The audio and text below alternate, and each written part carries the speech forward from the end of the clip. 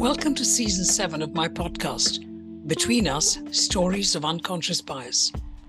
This season, I speak to people in Mexico, America, Ireland, Sri Lanka, India, and the UK. I have stories that I'm sure will resonate with anyone anywhere in the world.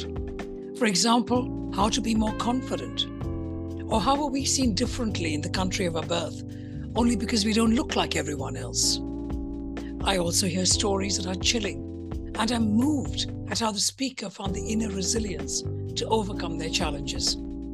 I hear stories of music, religion, and so much more. I hope you take away as much as I have when hearing these stories. Thank you so much for listening. Christos Demetriou is an entrepreneur, music producer, songwriter, and pastor. Chris's commercial history embraces multiple areas of business activity, sports promotion, public relations, a TV broadcast network, and a brokerage business.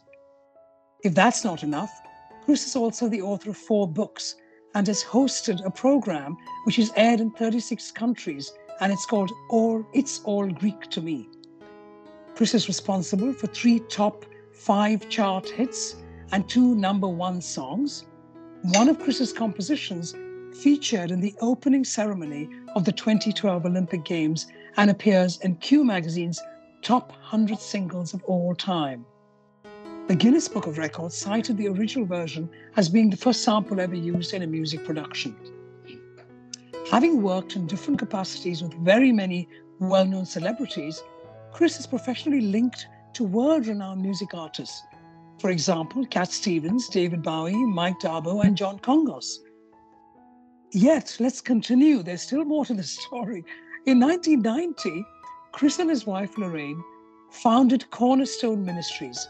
It's a registered charity and an evangelical Christian church based in Surrey. Cornerstone Ministry started as a small Bible study group that grew rapidly to a congregation now exceeding 600 people. Cornerstone is a multicultural and multi ethnic community made up of 41 nations. Welcome, Chris. With your hugely varied life experience, I'm sure you'll have some great stories to share today. Thank you so much for joining me. It's an absolute pleasure, and I've been looking forward to it. I, I love to talk and encourage people, and uh, I trust that uh, our discussions today will encourage those, the listeners that you have. Oh, I hope so too, because that's the beauty of, of this con- these conversations we have, Chris. Because the idea of a podcast and unconscious bias is that it's heard all over the world. And I'm sure your stories will resonate with, with you know people who may not have your experiences, but there's still something else that that kind of links with them and resonates with them. But before we even go into stories, Chris, you know, we're talking unconscious bias. What do you understand by that? Well, it's uh, how you respond, uh, you know, through everyday life to certain situations or certain people. And it's uh, almost instinctive because it's unconscious, it's just the way you're wired. Um, and of course, all of us uh, aren't that conscious of our unconscious biases because it's not something you think about, it's just something that happens. Exactly. And it's instinctive and, and it's Yes. So therefore, how can we be conscious of it? I wonder, yeah. in that regard, Chris, if you could possibly share share a story with me about what that looks like for you. What were your stories? Well, I, I think my stories, uh, my if I think about unconscious bias, uh, I mean, there's two levels. There's there's the the, the natural uh, physical level, you know, where you you you know you're consciously engaging, but then there's also a spiritual level. So I'd like to deal with the two separately. Sure. On a on, on a natural level, um, I tend to have subconscious bias towards people and situations that may be influential.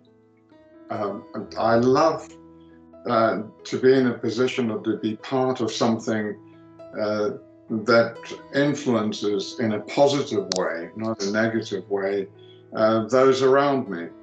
Um, so, uh, what I tend to do is uh, when uh, certain people or certain situations arise in my life that I know can impact I just get drawn to it and I get drawn into it, uh, and I love doing it. Um, and I think all the the key people in my life that uh, have influenced me is because I was drawn to them. Um, you know, and this is the beauty of, of subconscious uh, uh, matters is that that um, you, they happen not because you you know deliberately and willfully done it, but you can't help yourself being drawn to that.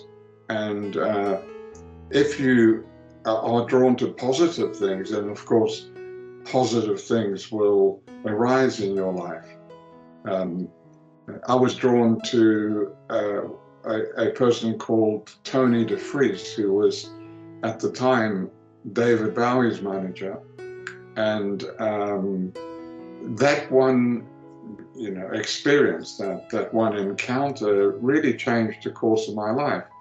Um, and there were there are other milestones in my life, and I can always put it down to being drawn to a person, and that but, person. No, sorry, open, I'm yeah. just curious, but how? So, so can we go back yet again? I mean, because I love the idea, because we all have what we call instincts, don't we? And if I yes. just uh, let's create a scenario, I'm in a social occasion, and and most of the people there, uh, I don't know. You know, pre-COVID days when you could actually be at a, at a at somebody's home and there are 15 or 20 people and we're mingling and standing around having glasses of wine. But I and I don't know most of them other than my host, and I have an instinctive affinity with one person more than another. But then, what's your story that one that made you i mean you know i'm just curious about why is it that you're drawn to people in this instinctive unusual way like david bowie's manager for example um, it, i think it started off with a sincere desire to be successful and then you know it, it's that's very sort of animalistic if you like. It's not you just want to be successful so you want to hang around with successful people. But i think as i've matured in life i've realized that it, there's something deeper than that. It's wanting to be like them not just wanting to be successful that you see something in someone that um, uh, because it has influence and uh, it's not just about success, it's about that influence. And you would love to have that. You would love to to learn by it and and uh, and use it correctly. So, I've over the years, um, obviously instinctively done those things, but I've realized that now I'm in a position where I can be influential and people are drawn to me and, uh, and when we get to the spiritual side, it's quite interesting because it, it's both spiritual and natural. This law that we're talking about, this law of affinity. the law of affinity. Okay, so to come back, because I, because I rudely interrupted you earlier, just to ask about you know what was taking you there, but to come back to your story, please continue about about. Um, I think you were saying you had met David Bowie's manager, and then what? Yes, I mean the, the story is I was um, playing in a band. Um, there were five of us, and we were driving up and down the motorway, and everyone thought we'd be very successful. We were even the support act for Led Zeppelin's first gig at Leeds University. Uh, and we were, you know, I think we were okay, uh, and we could have made it. But I was getting more and more frustrated, so I answered an ad in the trade magazine, which was called The Melody Maker. And there was an ad for a production assistant from someone called Laurence Myers, who was the accountant to all the stars. Anyway, I answered the ad, met Laurence, and then he introduced me to Dave, David Bowie's manager, to Tony DeFries. And I didn't know Tony, I didn't know, but there was an immediate connection, and um, I was drawn to him, and I think that opened up something for him because he didn't know much about me, and he wasn't looking for a production assistant. He was just looking for someone that uh, he could mentor uh, that would help him uh, going forward. So um, it just started to unravel from there. That changed the course of my life because I started to work, you know, in the studio. I always wanted to be a record producer. I was learning uh, how to do business. Um, in fact, I instigated uh, the the publishing contract the, that uh, we eventually negotiated and sealed between David Bowie and Chrysalis Music. And uh, I got very friendly with Bob Grace, who at the time was the publishing head. And, um, and, and that changed the course of my life. So I wasn't then playing in a band. Suddenly I was in the music industry as a negotiator, as an executive, um, learning all the time from Tony. Um, and then again, I met someone else uh, who, as well, was very influential, but in a different area. And that directed me to um, being sort of full time as a record producer. So I put these sort of instinctive relationships, if you like, down to how I was wired up, what was in me, the uh, sincere desire to connect with people and uh, and to be, become influential with them, through them, and then eventually on my own. And uh, there's nothing better than influencing people in a positive way.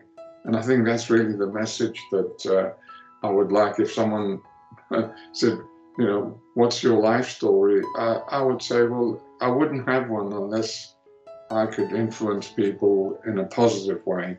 But then help, let's, sorry, yeah, go ahead. And, and, and help them. Uh, and, and that's my heart, especially for younger people, you know, because I think they've been given a raw deal at the moment. Um, at the moment, yes, they have. But I'm just uh, thinking about you as a young person, Chris. Let's go back a few years. Um, certainly, by your name, we know that you're Greek, and the fact that that you hosted a television program called "It's All Greek to Me." I must ask you about that in a minute. But but let's just go back to your earlier years as a child. Um, I, because I'm just trying to explore this idea of unconscious bias with you, and the idea that you know you you you who you are, your number one life story is about influencing other people in a positive way. That's for you, that is what drives you on a day to day basis. But then let's go back to the beginning, you know, at whatever early age you can think of, it's up to you, five, eight, ten.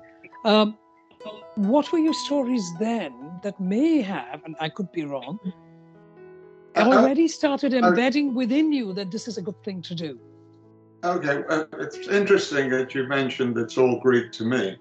Um, and uh, I was born in a little village in Cyprus and uh, my parents immigrated to South Africa because uh, you know it was the time you know the village empty because one person went over and the word got back that it's the land of milk and honey and everything's great over here. So uh, of the five or six hundred people in the village, um, the majority of them ended up in South Africa.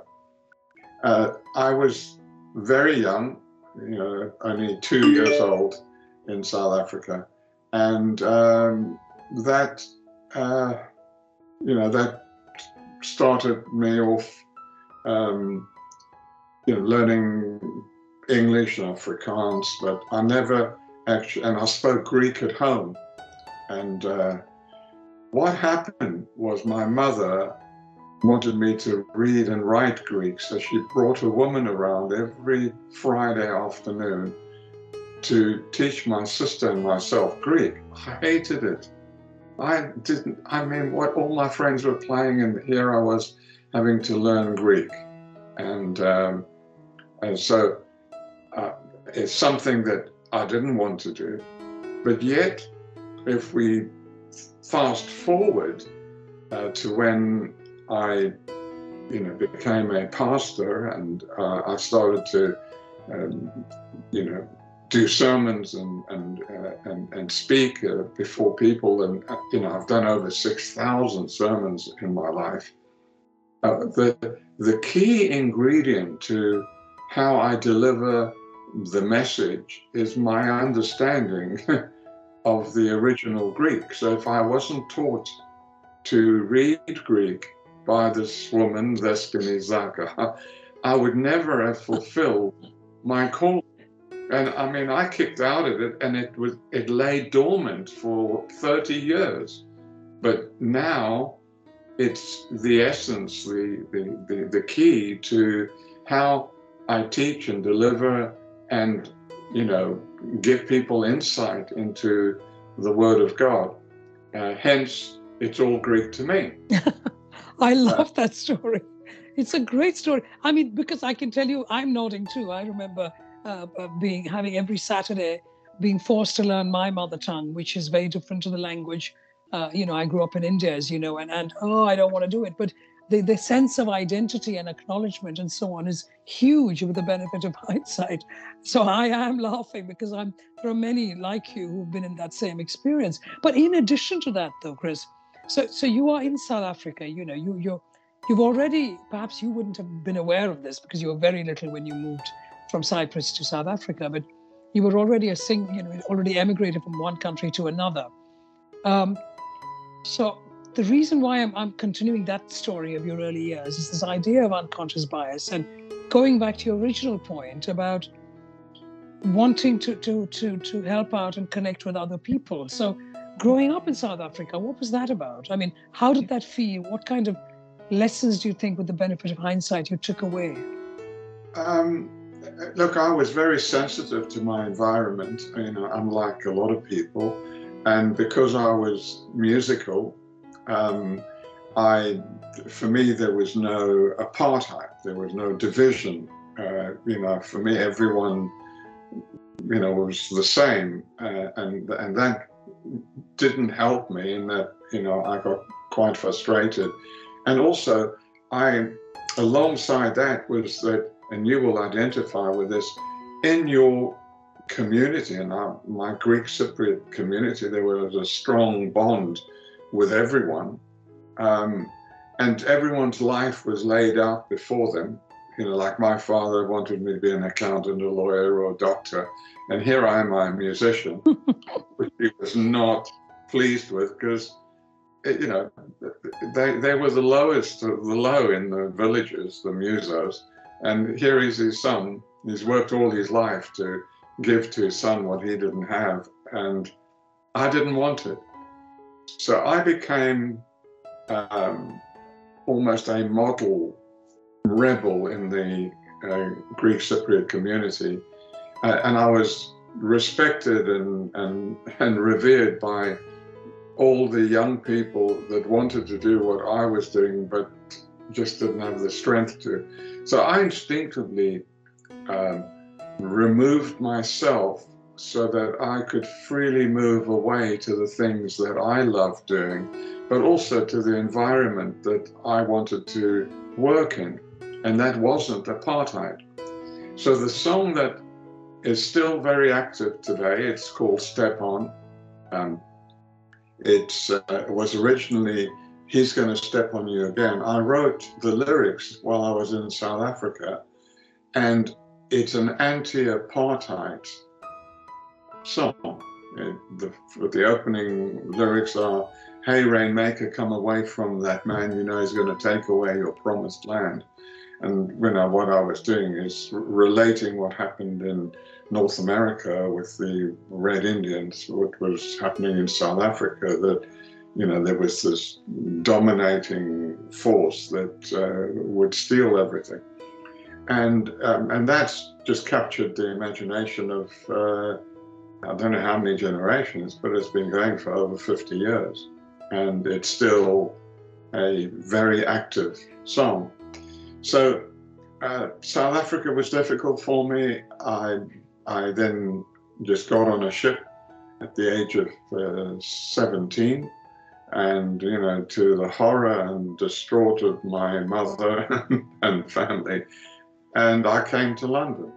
Um, and that was it. I was drawn instinctively to the things, the environment that I felt I could live in and be creative in uh, without the barriers that were in place between white and black and colored and Asian. Um, and, and, and it's strange because South Africa uh, used to pigeonhole everyone. You know, I was the Greek, you know, my friend was the Portuguese. So it wasn't just white and black. It, it was almost, you know, your your your heritage, who you really are, that uh, that they pigeonholed, uh, and that te- that teaches you a lot. Yeah, um, there's a couple of things here that I, I want to just uh, uh, kind of flag up again for for the sake of the listeners and myself. Certainly, two two things that come to mind. One is how much your values and your identity and who you are was embedded in those early years in South Africa uh, one, because of this uh, apartheid and the fact that you know you are a, white skin and therefore you supposedly should not mix with other people who are black and so on. And and alongside that, this idea of identity that you are Greek and being forced to learn Greek on a, on a Friday or a Saturday or whatever it was. So that's that's there, that's being embedded. And and you don't know it, but you know it in your heart and your head that this business of of of showing discrimination is not right. And, and so you, you come away to England, to London. But then alongside that, and this is what I'm finding interesting, is that despite the fact that your parents were clearly unhappy and did not want you to go to London, they were not controlling parents. And I'm deliberately saying that because there would be people around the world hearing your story and saying, Ah, Chris, you were lucky. You managed to do what you wanted to do you got to London, you know, you had the confidence to go and speak to, to, to David Bowie's manager and XYZ. Um, so there was also some level of genuine support from the parents, despite the fact that your father must have said, "Oh my God, my son's let me down. He's not going to be an accountant." Or am um, I am I going around the wrong path on that one? Uh, no, well, I, uh, you know, my mother was always supportive. I mean, she was an incredible support for me, and uh, you know, but my dad, I had to fight him every step of the way. So um, you know, if it, if you really want it, uh, you know, the first obstacle you may have to overcome is resistance from your parents, and of course, then your immediate community. If, exactly. If um, and that's why, uh, you know, my dad was okay with me playing an instrument when I was nine.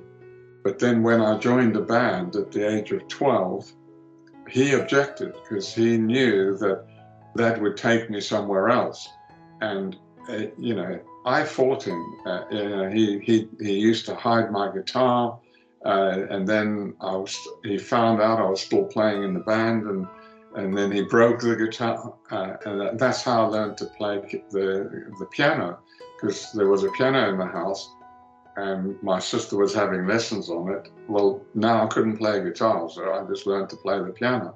I taught myself, but I fought him right up until I had my first hit in South Africa, and I was 16. Um, so for for about four years, the, there was all-out war. Then I took the the the record, and I showed his name, Demetriou, on the, the sleeve. And I said, Look, Dad, this is what my music has achieved. And then he just turned around and, and then he started to support me. That's um, wonderful. I mean, because it says it so says so much about you, Chris, and your genuine passion and self-belief, because that's what I want the listeners to take away. That you know, we really, really, really want to do something uh, you've got to keep at it. You've got to keep at it. Don't give up. Absolutely, absolutely. And and the thing is, I got that from him. oh, there you go. That's brilliant. I love it. I love it. But yes, do do share another story, Chris.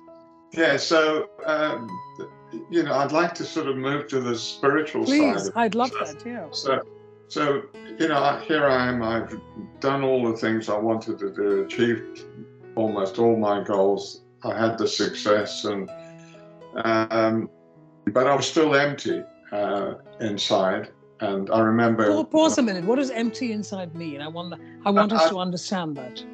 Yes, uh, it's being frustrated because you know there's more. There's something else and I remember when I was working with Cat Stevens, uh, and he uh, he found Islam, and he he tried to convert me to Islam, and and and then he said, Chris, you're still searching, and and until you find it, you're you're not going to be settled, and I agreed with him, um, but he couldn't persuade me to leave my leave my old life and take on this new life. So I had to have an encounter with God that was personal and real, which I did have, and that's what turned me around. Um, and then, uh, I, because I, I, was drawn to that those things, I, am a one thousand percent kind of person. I can't just dip my toe in it. I'm I dive in. So when uh, I found God, and, and you know, I, I pursued, uh, you know, the, the Christian faith. Um, I just dived in. I, I shut down everything, went back to South Africa because that's where I, I, I, I was visiting my parents, and that's where I had this God encounter. And I just stayed there, and I met my wife and worked in the church, and just things totally changed. Can I but, ask the encounter? Is that too much to ask? Would you share? Um, yes, I, I, you know, I was. My sister used to, to pray for me a lot, and then you know she'd call me, and I would sort of giggle, you know, over the phone because I thought, what are they doing? These are really strange, weird people saying that, oh, God told me to this, and we're praying for you. You know, that was just not in my vocabulary, and. Uh, anyway, I hadn't seen my parents for a long time, so I went uh, to South Africa, and then my sister said, "Well, will you come to church with us?" And I thought, "Oh no."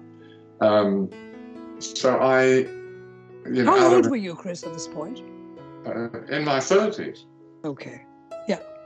So you know, this is having done all those things, and you know, when I worked with people like Cat Stevens, uh, I mean, we used to write and produce songs uh, for everyone. We had on Buddha in the Chocolate Box, we had Buddha, we had Islam, we had Jesus, we had everyone. So, you know, we were open to everything, but we, it wasn't real. And this is the thing.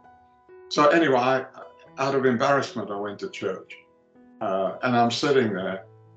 And because the minister is saying the things he's saying, I'm convinced that I've been set up.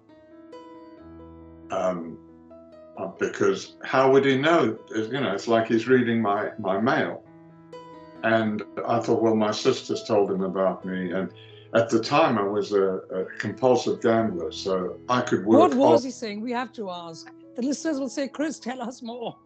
What was the minister saying? Well, I don't, I don't, re- well, I don't really remember the detail of it, but it was but obvious something, yeah. Yeah, speaking to my heart about things, you know, about forgiveness and fear and all those things that, mm.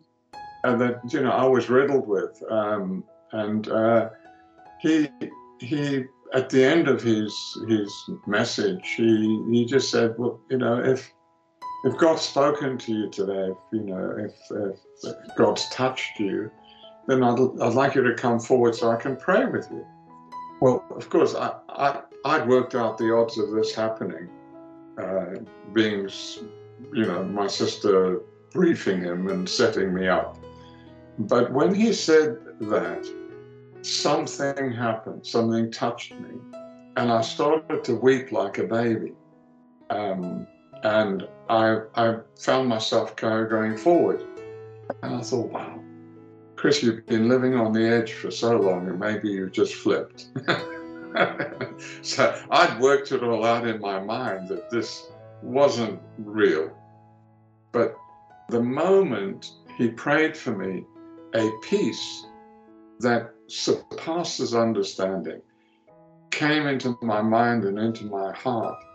And it's a peace that I've been seeking all my life, you know, because you're you're afraid of winning, you're afraid of losing, you're afraid of, you know, all this fear and anxiety that was inside me, you know, just swirling around for years. It just left, and this peace. And then I said to myself, well, if this is insanity, hey, this is quite cool. This is cool. I love it.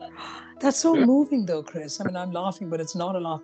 That is very, very moving because it's it's it's about some of it is about being in the right place at the right time. There, you you were in South Africa. You did not want to be uh, in the church, but you went just to please your sister. Yes. But clearly, prior to that, you had already been questioning.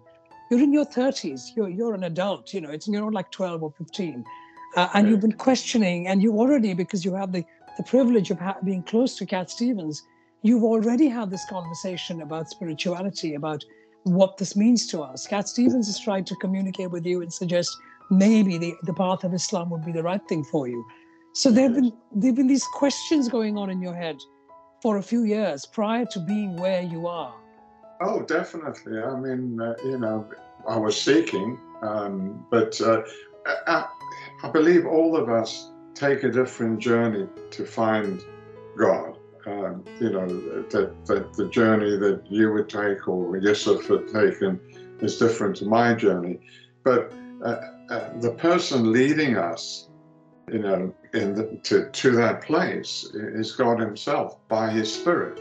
So, you know, although I was resistant, I didn't understand it, I know that that was a God encounter because He had orchestrated it he knew that I was an odd person and that if I was going to encounter him, he'd have to give me odds that I could not fathom, um, because otherwise I would always question it.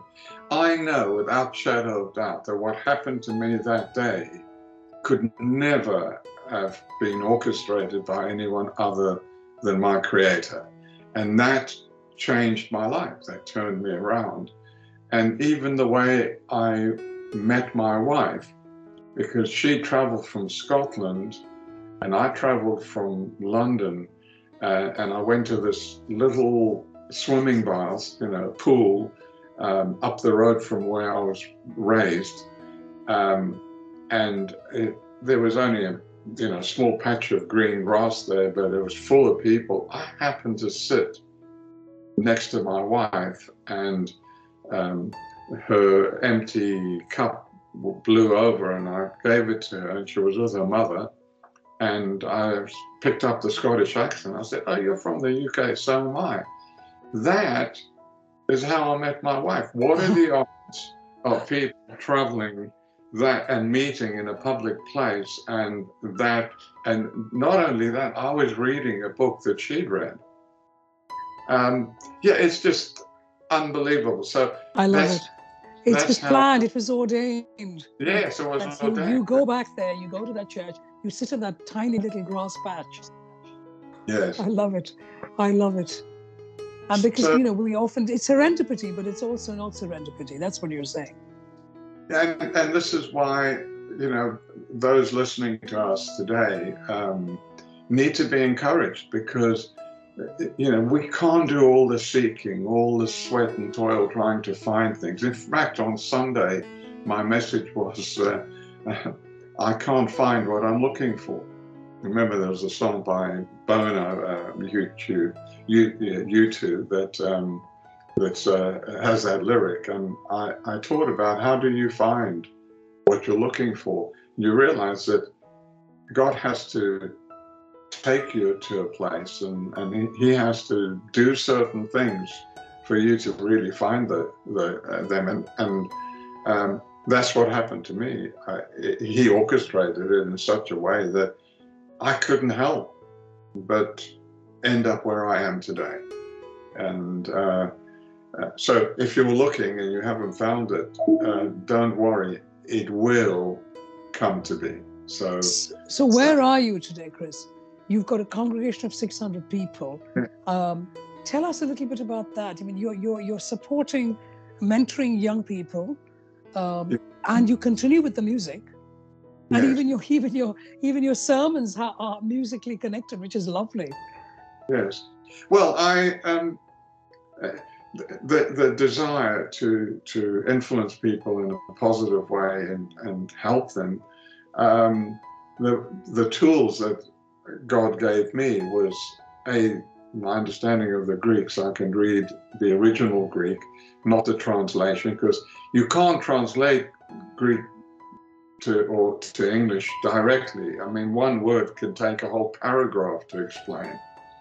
So it's a very, you know, that's why the term it's all Greek to me comes from. It's because Greek is so um, descriptive and so accurate that you can take one word and uh, elaborate on it. Mean, you drop it in its setting and it comes alive. So I use that um, to uh, to show people, to take people to a place where once you unravel this and put it back together again, they say, "I can see it." So I love people to see the truths that will help them in their lives, and they're what I call universal truths.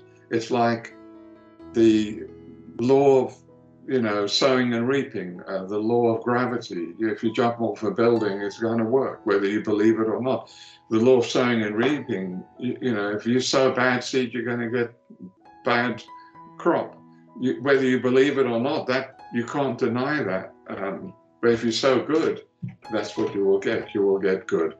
And uh, explaining these universal principles and truths to people and unraveling them, the Bible is full of them so it's a manual for life, and uh, and young people need to they need help. They need to see things. They need to uh, uh you know uh, uh, have good self-esteem and you know self-worth and build themselves up. And God's word does that. But I'm uh, focused, fully focused on delivering a word that that encourages and builds up and influences in a possible way. So that's what I do every Sunday. I love it. Um, I, I, you know, I can't wait for the next Sunday. And the way I, I do my sermons is the same way I used to write songs. You know, writing songs, I, I would always be the instigator uh, of whatever my songwriting partner and I wrote because I would have that initial lyric and how I would have that is I, my antenna would be up all the time. And if someone said something or if I saw something, I would just write it down. Well, but that's, that's about giving, supporting others, though. How about you yourself? How do you manage your own uh, demons and unconscious biases? We all have those. That's life, right? So do you okay. do you do something for yourself, or is it is oh, it you're oh, supporting oh, others that helps you? Oh, that that's where you get you know that's where you get your energy but uh, you've got to get inspiration and inspiration is always supernatural uh, it kind of doesn't come from just looking at a sunset going down although that's beautiful real inspiration comes from the holy spirit and i spend time in god's word and in meditation but I, i'm also very very disciplined in my thought life so how I operate is I only have one compartment open at any one time. That's so hard. That, yes, but you've got to discipline yourself because you can't be, you know, talking to you and having your mind somewhere else. Or that's fair. Yeah. Um, so I, when I'm, you know, at church, when I'm like today, I'm, I'm off to the church office I, I don't have, my mind isn't on my work. It's not on, you know, the football game that I'm going to watch. Or it, it's purely disciplined and focused on that one thing. Now, life isn't an exact science. So there are times where suddenly there are five doors open.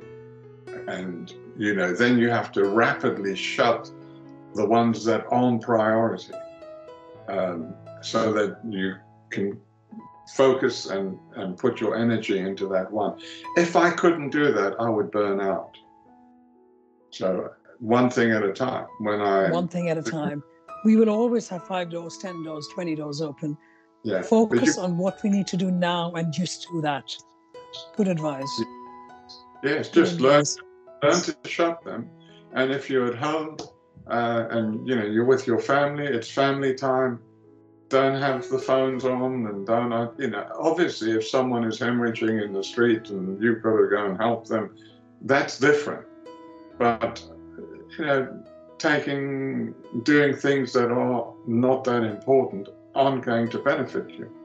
You, I, I have a, a sort of um, measure that I use. Uh, you know, is it important?